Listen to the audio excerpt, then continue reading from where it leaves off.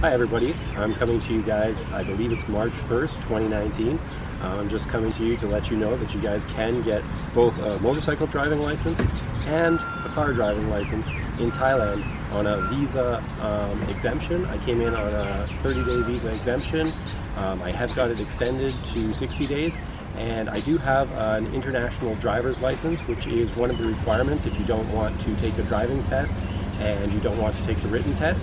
Uh, what you will require is your um, passport, um, a citizenship, sorry, not a citizenship, uh, certificate of residency, which just shows that you do have an address here. So um, any hotel, uh, guest house is actually required by law to um, file uh, TM30 and then you go to the third floor of immigration and you get your TM30, then you take it to the second floor and request a certificate of residence and it takes about a week to get that back.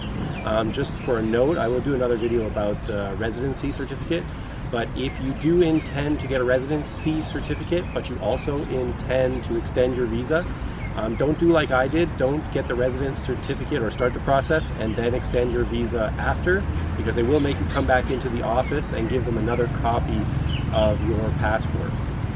So the other thing that you'll need is a certificate of health. You can get that at any of the hospitals. Try not to wait till the day of the actual day that you're going to the driver's license center like I did because that means you'll have to go to a hospital and there isn't one close by. Even though they say on the internet there's things close by, um, the closest one is up the street at the Tesco, and if you're driving a motorcycle, you'll have to do a few U-turns, and it's not the greatest place to do it. So um, the certificate of health was 150 baht for me.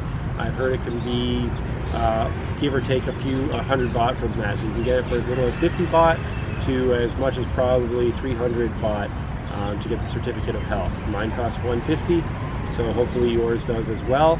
Um, you'll also need, uh, if you're getting both a driver's license for car and a driver's license for motorcycle, you will need a photocopy of your certificate of health. You'll need the one um, uh, residence certificate, but you'll need a copy of it as well for the second driver's license.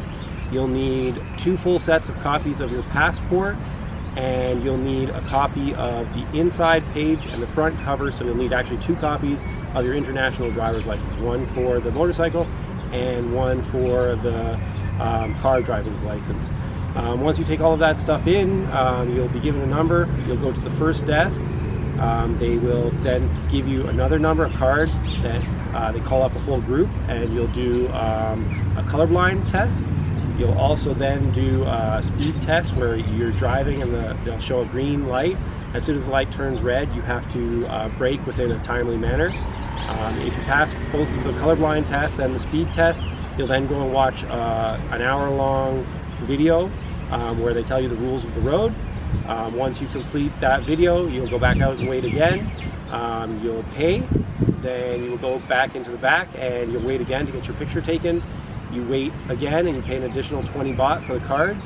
And then once you uh, have paid, you'll get your cards on the spot and for me, this process was a full day process. It's not something you can do in a half day. I have heard if you come early, and I did come early, we were here at 9, but uh, we did have to leave to go and get the um, health certificate.